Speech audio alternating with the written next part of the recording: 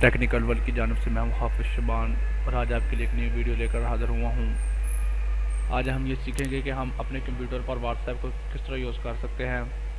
तो दोस्तों, वीडियो शुरू करने से पहले मैं आप दोस्तों को ये बताना चाहूँगा कि अगर आपने मेरा चैनल सब्सक्राइब नहीं किया तो इसको ज़रूर सब्सक्राइब कर लें और उसके साथ बेल के आइकन को दबाएँ।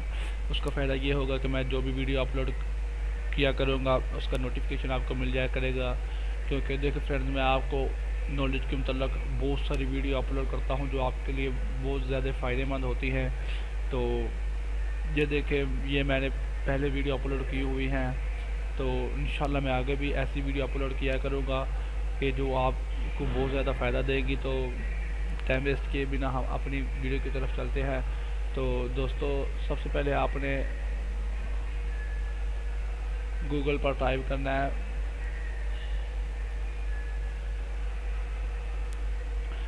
WhatsApp web WhatsApp web type करने के बाद यहाँ पर पहले आपने तो दोस्तों ये देखें, ये आपको एक बार कोड देगा।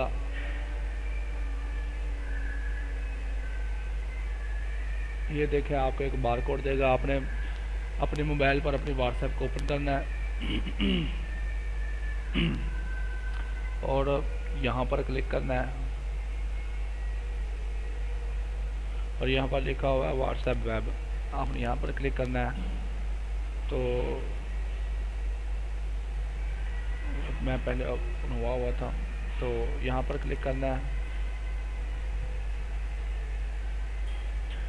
ये कैमरा ओपन हो जाएगा।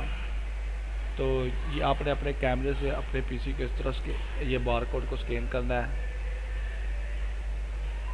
ये देखिए दोस्तों, ये स्कैन कर रहा है।